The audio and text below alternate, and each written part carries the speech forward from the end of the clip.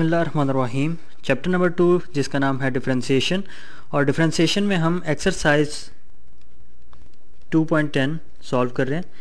Exercise 2.10 के question number four तक हम कवर कर चुके हैं पिछले लेक्चर में। अब हम नेक्स्ट क्वेश्चन पर आएँगे question number five question number five की स्टेटमेंट मैं सबसे पहले यहाँ पर लिखूँगा। क्वेश्चन नंबर फाइव में हमें कहा गया है find the dimensions of a rectangle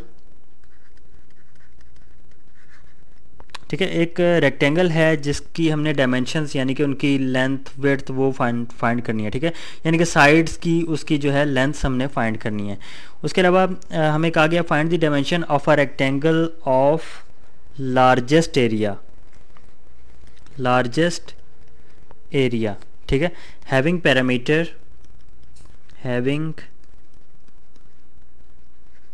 parameter 120 centimetre मतलब हमें जो गिवन है इसमें वो है पैरामीटर ठीक है? जो कि 120 डिग्री वन ट्वेंटी सेंटीमीटर है पैरामीटर हमें गिवन है। उसके अलावा हमें कहा कि आपने डायमेंशंस फाइंड करनी है, ठीक है? एक रेक्टेंगल है, चले मैं यहाँ पर एक डायग्राम बनाता हूँ रेक्टेंगल की। इस तरह से ये कोई सी भी एक रेक्टेंगल हो सकती है, ठीक है? उसकी साइड्स आपने फाइंड करनी है। चलें, हम इसका जो है वर्टेक्स वर्टिसेस का भी नाम हम रख लेते हैं। ठीक है सपोज़ मैं इसे कहता हूँ कि ये ए है, ये बी है, और ये सी है, और ये डी है।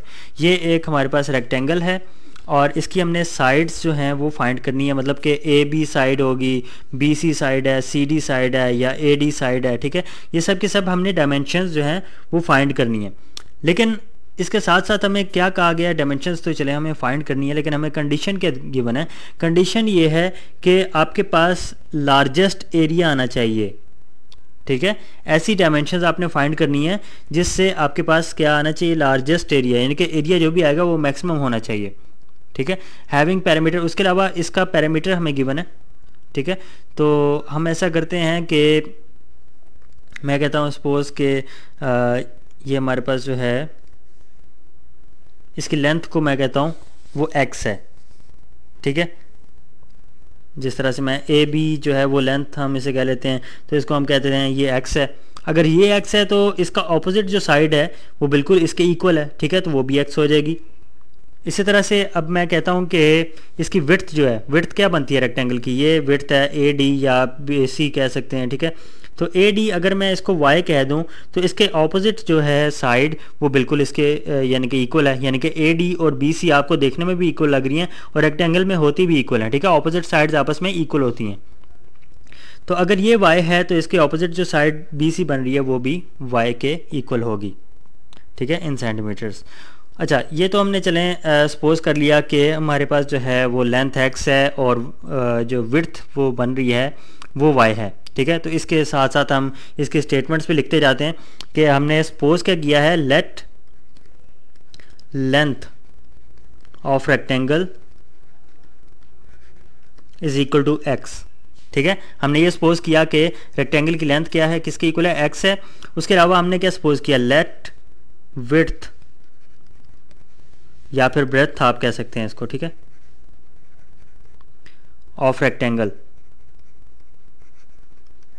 वो हमने सपोज़ किया है वाई ठीक है, अभी तक हमने ये सपोजिशन की है।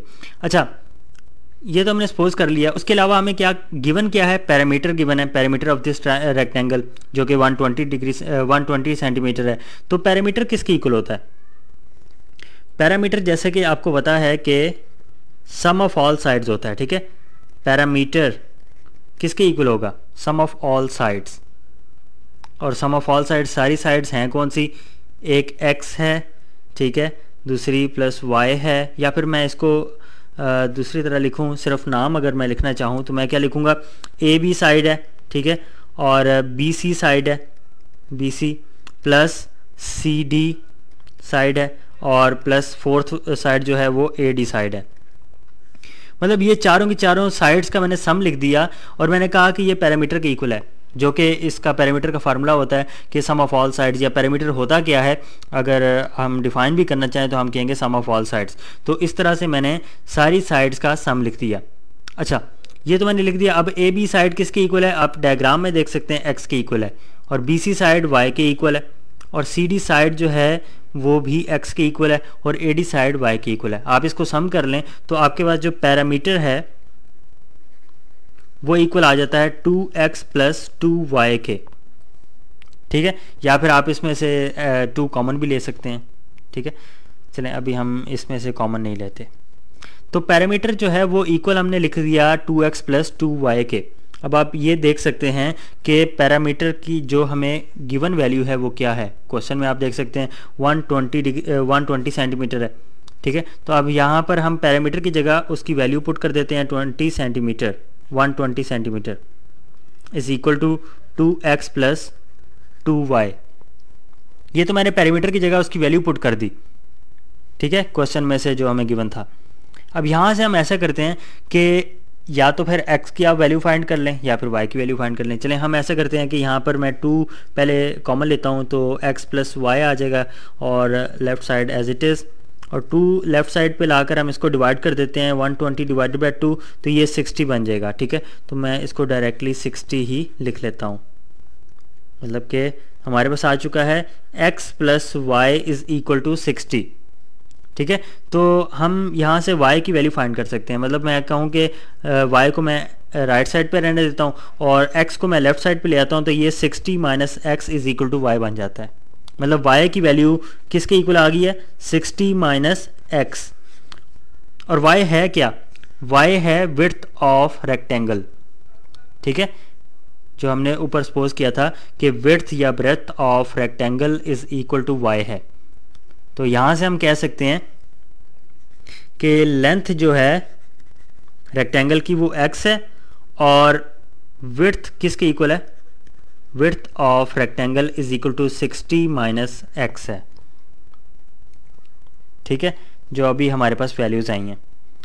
लेकिन हमने इस तरह से अभी तक तो लेंथ x के इक्वल है विर्थ भी 60 माइनस एक्स है। तो ये x क्या है? ये तो अभी अभी तक हमें पता नहीं चला।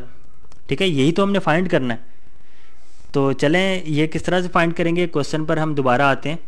क्वेश्चन में हमें क्या गया है कि find the dimension of rectangle of largest area ठीक है? हैविंग पैरामीटर 120 जो हमें गिवन है यानी कि पैरामीटर जो है 120 उसकी मदद से हमने जो है साइड्स uh, अभी तक हमने फाइंड किए लेकिन साइड्स की इक्वेशन फाइंड की मतलब कि जिस तरह से width is equal to 60 minus y sixty minus x है या y is equal to sixty minus x या length is equal to x ये अभी तक हमने जनरल यानी कि स्पेसिफिकली जो हमारा क्वेश्चन है उसका रिज़ल्ट हमने फाइंड नहीं किया। ये सिर्फ़ हमने पैरामीटर जो गिवन है उसके मुताबिक हमने अभी तक सॉल्व किया। लेकिन अभी तक हमारे पास लेंथ ना आई है और ना ही विर्थ आई है। और हमने लेंथ और विर्थ ऐसी फाइंड करनी है जिसपे हमारा एरिया जो है वो लार्जेस्ट हो। ठीक है? तो मेन चीज़ जो है वो लार्जेस्ट एरिया है। चले, हम यहाँ पर अब इस पे आते हैं कि एरिया वैसे होता किसके इक्वल है? एरिया जो है एरिया को हम ऐसा करते हैं कि ए के इक्वल सपोज़ कर लेते हैं, ठीक है? और एरिया का फार्मूला क्या होता है? रेक्टेंगल का अगर आपने एरिया फाइंड करना हो तो आप किस तरह से फाइंड करेंगे? Area is equal to length into width होता है, ठीक है? तो हम यहाँ से कहेंगे x into y x into y ठीक है? तो ये हमारे पास एरिया आ गया। लेकिन x, हमने देखा कि चलें लेंथ x ही है, ठीक है? एज इट इज़ हम लिख देते हैं x लेकिन y जो है, हमने देखा कि 60 माइनस एक्स के इक्वल है तो हम क्यों ना इसकी वैल्यू पुट करें? 60 माइनस एक्स मतलब कि एरिया फिर किसके इक्वल आ चुका है? एरिया इक्वल आ चुका है 60x x minus x square इसके इक्वल आ चुका है। ठीक है? तो हमने एरिया देख लिया कि एरिया किसके इक्वल है। लेकिन क्वेश्चन ये है कि लार्जेस्ट एरिया होना चाहिए डायमेंशन ऐसी फाइंड आपने करनी है। यानी डायमेंशन मतलब कि एक्स और वाई की ऐसी वैल्यूज़ आपने फाइंड करनी है, जिन पे एरिया रेक्टेंगल का एरिया जो है वो मैक्सिमम आए। ठीक है? तो उसका मेथड आप देख चुके हैं मैक्सिमम या मिनिमम फाइंड करने के लिए क्या हम मेथड यूज़ करते हैं डिफ्रेंसिएशन यूज़ करते हैं? मतलब कि इसका हम डेरिवेटिव लेंगे। चले, हम इसका डेरिवेटिव लेते हैं। D A over D x is equal to sixty minus two x इसके इक्वल आ जाएगा। और इस डेरिवेटिव को हम इक्वल रखेंगे ज़ीरो के। मतलब के 60 माइनस टू एक्स को इक्वल रख लेते हैं हम ज़ीरो के। अब यहाँ से इसको तो हमने ज़ीरो के इक्वल रख लिया। ठीक है? अब हमने ज़ीरो के को रखने का मकसद क्या है हमारा क्योंकि हमने यहाँ से एक्स की वैल्यूज़ फाइंड करनी है, ठीक है? तो चलें हम इसमें से एक्स की वैल्यूज़ फाइंड करते हैं। तो इसमें से जो है टू या फिर हम ऐसा करते हैं two x is equal to sixty ये बन जाएगा, ठीक है? तो टू से दोनों साइड पे डिवाइड करें तो x is equal to thirty आपके पास आ जाता है। X is equal to thirty x की वैल्यू आपके पास आ गई है। और x है क्या? X जो है वो लेंथ ऑफ़ रेक्टेंगल है, ठीक है? लेंथ ऑफ़ रेक्टेंगल ये हम फाइंड कर चुके हैं, जो कि इक्वल टू एक्स था, और 30 इसकी वैल्यू हम फाइंड कर चुके हैं। अब हमने विर्थ भी फाइंड करनी थी, ठीक है? तो विर्थ हम देख लेते हैं। विर्थ ऑफ़ रेक्टेंगल किसके इक्वल थी? Y, और y किसके इक्वल था? 60 माइनस एक्स ठीक है? तो यहाँ से 60 माइनस एक्स एक्स की वैल्यू आप पुट करें तो आपके पास 30 इसकी भी वैल्यू आ जाती है। अच्छा ये हमने x और y फाइंड कर लिया। लेकिन अब हम इस पे श्योर नहीं है कि इन वैल्यूज़ पे यानी कि ये जो पेयर ऑफ़ वैल्यू बनती है मतलब एक्स लेंथ भी जो है वो 30 और विर्थ भी अगर 30 हो तो क्या इन वैल्यूज़ पे वाकई हमारा एरिया जो है वो मैक्सिमम आता है या नहीं आता? या मिनिमम आता है? या ना मैक्सिमम आता है, ना मिनिमम आता है? तो उसकी वेरिफिकेशन के लिए अगला स्टेप जो है वो आपको ऑलरेडी पता है कि हम डबल डेरिवेटिव लेते हैं एरिया का। मतलब जिसको हम मैक्सिमम या मिनिमम जो है प्रूव करना चाह रहे हैं, उसका हम डबल डेरिवेटिव डबल डेरिवेटिव ले लेते हैं। मतलब यहाँ पे डी ए और एट, डी एक्स हमने फाइंड किया हुआ है, एरिया का सिंगल डेरिवेटिव फाइंड किया हुआ है। तो इसी का हम दोबारा से डेरिवेटिव लेंगे तो इसका डबल डेरिवेटिव हो जाएगा। तो चले मैं दोबारा से इसको लिख देता हूँ कि हमारे पास जो है D A over D x किसके इक्वल है? सिक्सटी माइनस एक्स के। सिक्सटी माइनस टू एक्स के। Sixty minus two x. ठीक है? तो चलें, अब इसका हम डेरिवेटिव अगेन लेते हैं। तो ये बन जाएगा D square A over D x square is equal to minus two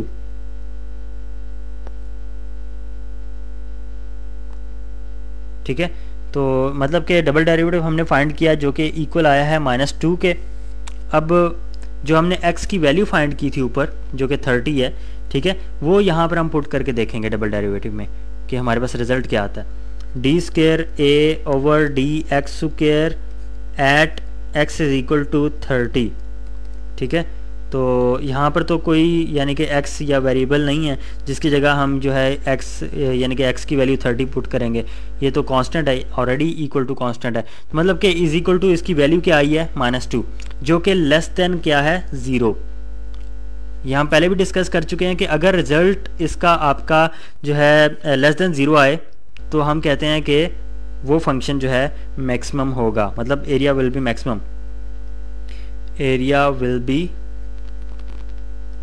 maximum at जिस वैल्यू पे हमने फाइंड किया at x is equal to thirty ठीक है? तो मतलब कि हम ये भी वेरीफाई कर चुके हैं कि हमने जो वैल्यूज़ फाइंड किए हैं, उन पे एरिया वाकई ही मैक्सिमम आता है। मतलब कि लेंथ हमारे पास क्या होगी? रेक्टेंगल की 30 और विर्थ क्या होगी? वो भी 30 तो हमारे पास उसका आप एरिया फाइंड करके देख सकते हैं। तो इन दोनों वैल्यूज़ पे आपका एरिया मैक्सिमम आएगा। ठीक है? तो ये तो चलें क्वेश्चन नंबर फाइव है। नेक्स्ट क्वेश्चन पर जंप करते हैं। नेक्स्ट क्वेश्चन की स्टेटमेंट मैं पहले लिखूँगा। Find the lengths find the length of sides of a variable rectangle having area 36 centimeters square. Having area 36 centimeters square. When its parameter when its perimeter is minimum. ठीक है? Question को हम दोबारा पढ़ते हैं find the length of sides किसकी sides of a variable rectangle यानी कि एक रेक्टेंगल हमारे पास जिसकी साइड्स जो है वेरी कर रही हैं, उसकी हमने लेंथ फाइंड करनी है। हैविंग एरिया 36 सेंटीमीटर स्क्वेयर अब हमें एरिया गिवन है। ठीक है? एरिया हमें गिवन है 36 सेंटीमीटर स्क्वेयर अच्छा when it's parameter is minimum तो हमने अब हमारे पास जो है यानी कि कंडीशन आप कह सकते हैं कि क्या है? पैरामीटर आपके पास मिनिमम होना चाहिए। तो पैरामीटर कब मिनिमम होगा? मतलब किन वैल्यूज़ पे मिनिमम होगा? लेंथ उसकी साइड्स की किन लेंथ पे, यानी कि लेंथ की कितनी कौन सी वैल्यूज़ पे हमारे पास पैरामीटर जो है, वो मिनिमम आएगा? जब आपके पास एरिया क्या हो 36 सेंटीमीटर स्क्वेयर हो। तो चलें, इसको भी हम जो है सॉल्व करते हैं। किस तरह से सॉल्व करेंगे कि हम इसमें भी सपोज़ कर लेते हैं कि लेंथ जो है वो एक्स है, ठीक है? और वाई जो है वो उसकी विर्थ कह लेते हैं। Let length is equal to x और let width is equal to y आ गया। लेंथ और विर्थ हमने सपोज़ कर लिया, और अब हमें पता है कि एरिया किसके इक्वल होता है, क्योंकि हमें गिवन क्या है? एरिया है तो चलें पहले उसकी इक्वेशन लिख लेते हैं कि एरिया ऑफ़ रेक्टेंगल किसके इक्वल होता है? एरिया ऑफ़ रेक्टेंगल हमने पिछले क्वेश्चन में भी देखा। एरिया ऑफ़ रेक्टेंगल इक्वल होता है लेंथ इंटू विथ मतलब कि एक्स इंटू वाई हो जाएगा, क्योंकि इसमें लेंथ और विथ क्या है? एक्स और वाई तो इन दोनों को मल्टीप्लाई करें तो हमारे पास एरिया आ जाता है और एरिया की वैल्यू हमें ऑलरेडी गिवन है। ठीक है? तो हम वो वैल्यू यूज़ करते हैं, यानी कि 36 centimetre square is equal to x into y अब यहाँ से आप वाई की वैल्यू फाइंड कर सकते हैं। वाई इज़ इक्वल टू आ जाएगा एक्स बल्कि 36 डिवाइडेड बाय एक्स के इक्वल आ जाएगा। ठीक है? x x क्या है? लेंथ है और वाई क्या है? वो विड्थ है। तो विड्थ किसके इक्वल है? 36 डिवाइडेड बाय एक्स के इक्वल है। अच्छा दोबारा से क्वेश्चन के ऊपर आते हैं। क्वेश्चन में हमें क्या कहा गया? कि हमने लेंथ फाइंड करनी है इसकी साइड्स की, ठीक है? रेक्टेंगल के साइड्स की। जब क्या हो? पैरामीटर इज़ मिनिमम जब पैरामीटर क्या हो? मिनिमम तो पैरामीटर का पहले फार्मूला लिखते हैं। Parameter of rectangle parameter of rectangle किसके इक्वल होता है? सम ऑफ़ ऑल साइड्स मतलब कि अगर हमारे पास जो है लेंथ वो एक्स है तो two x plus two y बन जाएगा। ठीक है? ये हमारे पास आ गया पैरामीटर अब इसमें हम जो है वैल्यूज़ पुट कर सकते हैं। मतलब कि y की वैल्यू जिस तरह की हमने फाइंड की हुई है कि 36 सिक्स डिवाइड बाई एक्स है।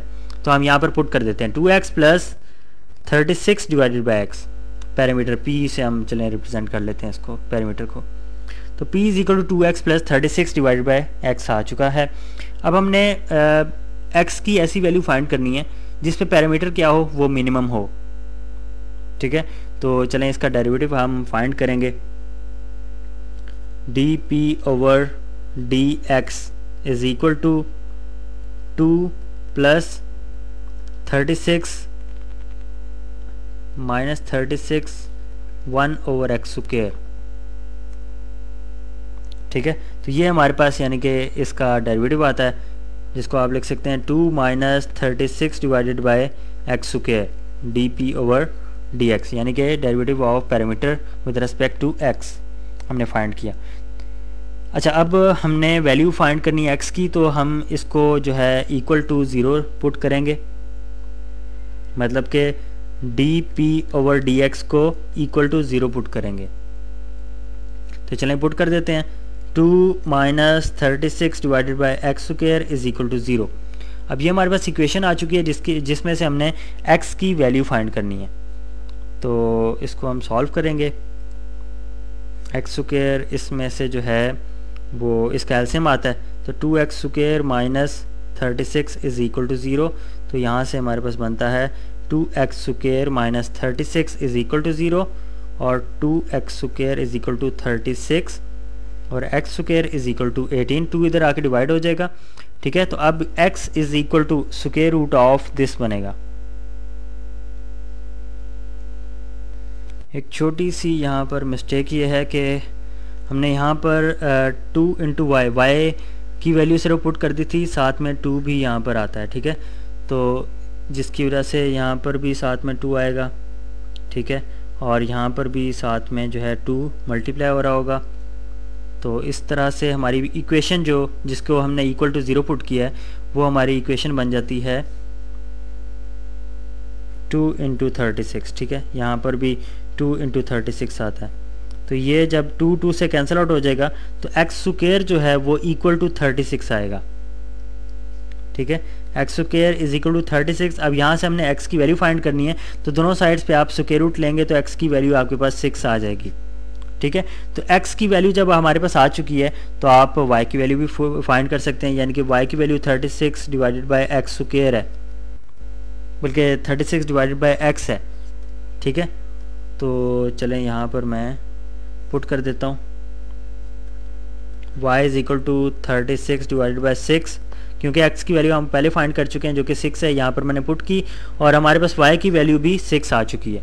मतलब ये दो वैल्यूज़ हैं जिन पे x और y, यानी कि लेंथ क्या हो जाएगी रेक्टेंगल की सिक्स और विथ क्या हो जाएगी, वो भी सिक्स जिस पे हमारे पास पैरामीटर जो है वो मिनिमम आएगा।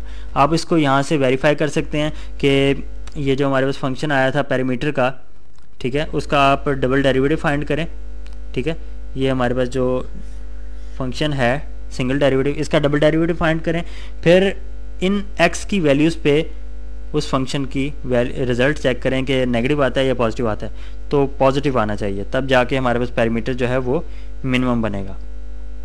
ठीक है? तो वेरिफिकेशन आप यहाँ पर ख़ुद कर सकते हैं। तो लेक्चर का टाइम कवर हो चुका है कंप्लीट हो चुका है तो मैं यहाँ पर लेक्चर ख़त्म करता हूँ। नेक्स्ट लेक्चर में हम क्वेश्चन नंबर सेवन से स्टार्ट करेंगे, इंशाल्लाह।